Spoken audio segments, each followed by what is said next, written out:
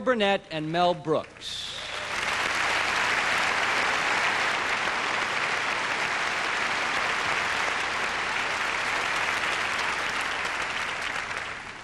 And now, the nominees for Outstanding Writing for a Comedy Series are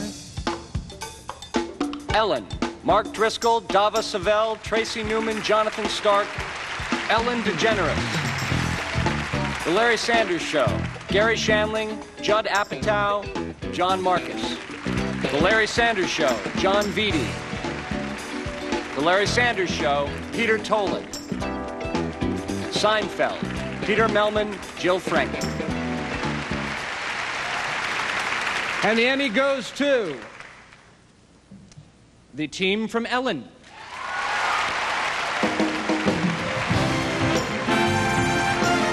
This is Ellen's first nomination and first win in this category for an episode that made television history.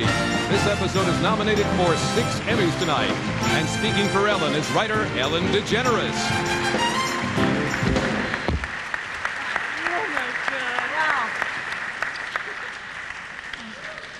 Wow, wow, wow, wow. Thank you so much. Um, I uh, accept this on the behalf of all of the people and the teenagers, especially out there, who think there's something wrong with them because they're gay, they're gay. And there's nothing wrong with you. Don't ever let anybody make you feel ashamed of who you are.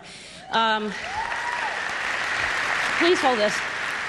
There are so many people that went into uh, doing this, and I, am sure I'm going to forget a lot of people, but uh, Dava Savel, Mark Driscoll, Tracy Newman, John Stark, Matt Goldman, Jan Nash, David Flebotte, Alex Herschlag, Mark Wilding, Ellen Idelson, Rob Lotterstein, Vance DeGeneres, I'm sorry, DeGeneres, Dave Walpert, Jennifer Fisher.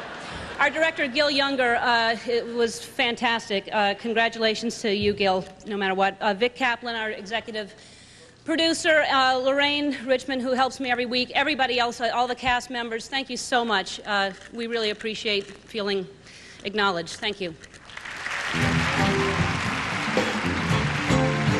The Emmy Awards will return with Paul Reiser, Anthony Edwards, and outstanding performance in a variety of music program.